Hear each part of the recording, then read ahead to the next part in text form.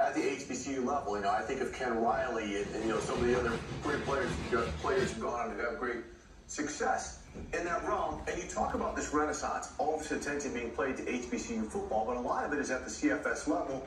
You mentioned the Division two level.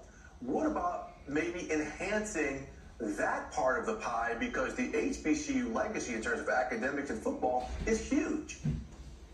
Yes, sir, it is.